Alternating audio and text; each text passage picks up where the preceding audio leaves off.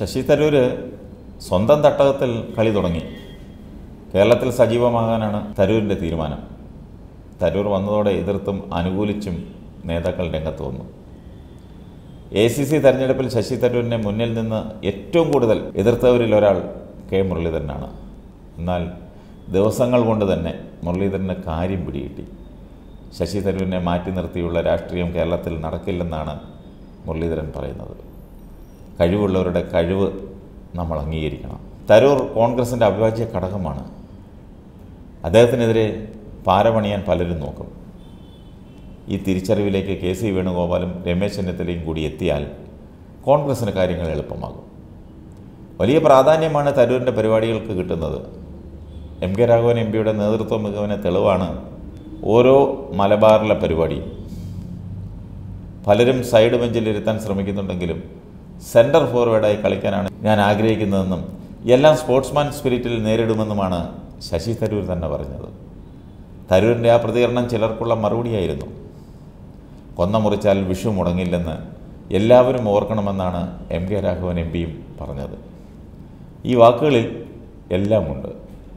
ഇതിനൊപ്പമാണ് K മുരളീധരന്റെ പരസ്യ പിന്തുണയും ഏതായാലും കെ പി സി സിയിൽ തരൂരിനെതിരെ ചിലർ നടത്തിയ നീക്കം ചർച്ചയാകും. തരൂരിനെ എല്ലാ അർത്ഥത്തിലും പിന്തുണയ്ക്കുന്ന രാഘവൻ തന്നെയാണ് പരിപാടികളുടെ മുഖ്യ ആസൂത്രകൻ യൂത്ത് കോൺഗ്രസിന്റെ പരിപാടി മാറ്റിയത് വിവാദമാക്കേണ്ട ആവശ്യമില്ല. മൂന്ന് മാസം മുൻപ് തരൂർ ജില്ലയിൽ കോൺഗ്രസിന്റെ പരിപാടിയിൽ പങ്കെടുത്തതാണ്. അന്ന് പ്രശ്നമൊന്നും ഉണ്ടായിരുന്നില്ല. അദ്ദേഹം വരുമ്പോൾ പ്രധാന നേതാക്കളെ കാണുന്നത് സ്വാഭാവികമാണ്.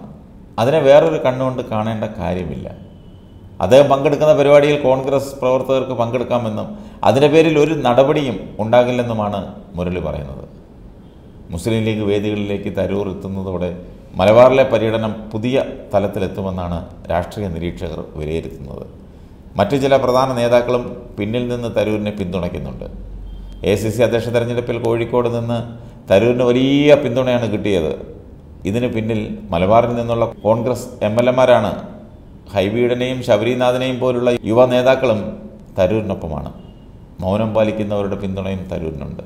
ഇതെല്ലാം കെ സി വേണുഗോപാലിനെയും രമേശ് ചെന്നിത്തലയും അസ്വസ്ഥമാക്കുന്നുണ്ട്. ഉമ്മൻചാണ്ടിയും മനസ്സുകൊണ്ട് തരൂരിനൊപ്പമാണ്. കെ പി സി സി അധ്യക്ഷൻ കെ സുധാകരനും തരൂരിനൊപ്പമാണെന്ന് പറയാതെ പറഞ്ഞു വയ്ക്കുന്നു ഗ്രൂപ്പ് മറന്നുള്ള ഒരുമയുണ്ടാക്കുകയാണ് വേണ്ടതെന്ന് സുധാകരനും തിരിച്ചറിയുന്നു. തരൂരിനെ മുന്നിൽ നിർത്തി എ ഗ്രൂപ്പ് കളിക്കാനാണ് നോക്കുന്നത്. അങ്ങനെയാണെങ്കിൽ ഇപ്പോൾ മറുവശത്ത് നിൽക്കുന്ന പലരും എ ഗ്രൂപ്പിലെത്തും. ഉമ്മൻചാണ്ടിക്ക് ശേഷം ഗ്രൂപ്പിനെയും അതുവഴി പാർട്ടിയെയും നയിക്കാൻ തരൂർ രംഗത്തുണ്ടാവണമെന്നാണ് ഉമ്മൻചാണ്ടിയുടെയും ആഗ്രഹം.